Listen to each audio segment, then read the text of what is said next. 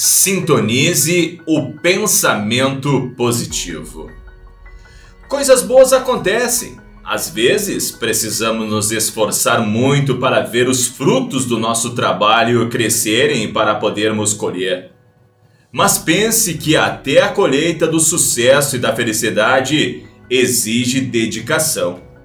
É preciso manter o pensamento otimista e sempre sintonizando coisas positivas. Não faça nada por fazer. Quando entrar numa batalha, dê o seu melhor. Se você não ganhar dessa vez, se aprimorar. Seja feliz, sintonize a felicidade. Não precisamos que tudo em nossa vida esteja bem e perfeito para sermos felizes. Mas quando decidirmos ser felizes, decidimos também olhar através das imperfeições.